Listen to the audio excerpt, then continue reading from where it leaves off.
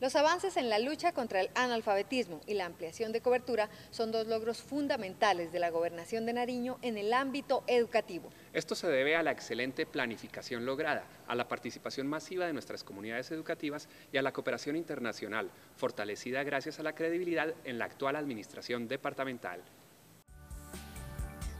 El Plan de Desarrollo Educativo de Nariño, presentado por el gobernador del departamento, Eduardo Zúñiga, tiene como objetivo fundamental establecer las políticas, planes y programas de educación de acuerdo a los criterios orientados por el Ministerio de Educación Nacional y el Plan de Desarrollo de Nariño.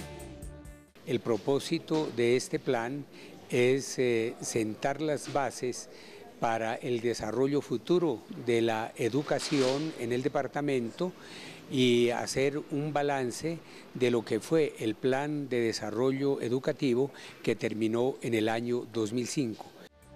Ante un auditorio colmado por docentes y miembros de la comunidad educativa de los 64 municipios del departamento, se destacó el carácter participativo en la construcción del plan al generar mesas de trabajo en cinco puntos de Nariño, a donde acudieron los municipios más próximos, todos con propuestas fundamentales para el mejoramiento de la calidad, cobertura y eficiencia en la prestación del servicio.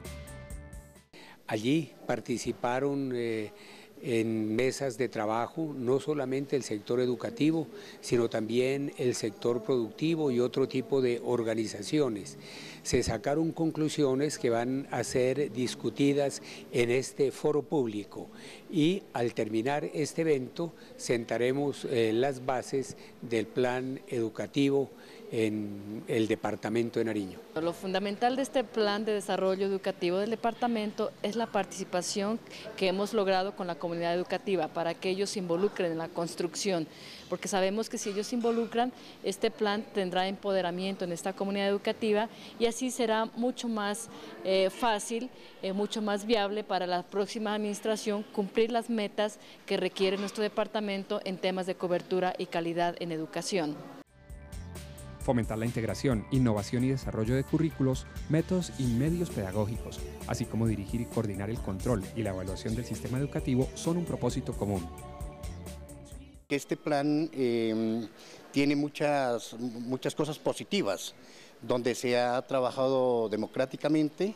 y, y se está trabajando en pro de la educación por el Departamento de Nariño. Es fundamental que en todas las instituciones educativas del departamento sea eh, un insumo de trabajo en, no únicamente el área de ciencias sociales que podría ser como pertinente, sino que todos los educadores y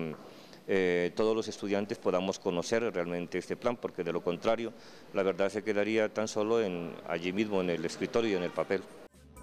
De la misma manera, la Gobernación de Nariño hace parte de un convenio entre los Ministerios de Educación de Colombia y Cuba, que propende por la preparación de gestores regionales dentro del proyecto de entrenamiento metodológico conjunto de mejoramiento de la calidad y pertinencia educacional.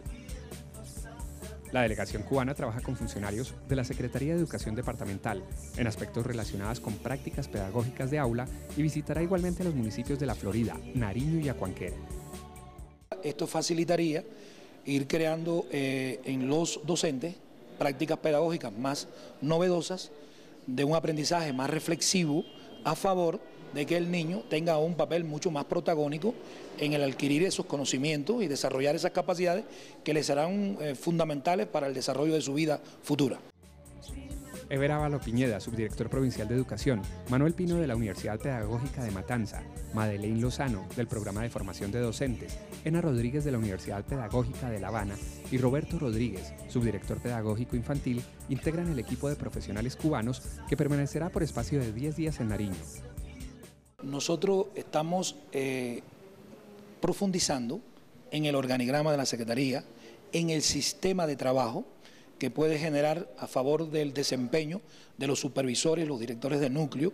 para que puedan posteriormente, utilizando el entrenamiento metodológico conjunto como un método de trabajo, fortalecer el desempeño de los directivos docentes y docentes en las prácticas pedagógicas de aula fundamentalmente. Dentro de las experiencias que serán compartidas por la comitiva cubana están el modelo pedagógico metodológico, que potencializa el trabajo en las áreas de matemática, español y ciencias naturales, Igualmente se enfatizará en la capacitación a gestores regionales, en el acompañamiento a los directivos, directivos docentes y docentes de las instituciones educativas del departamento.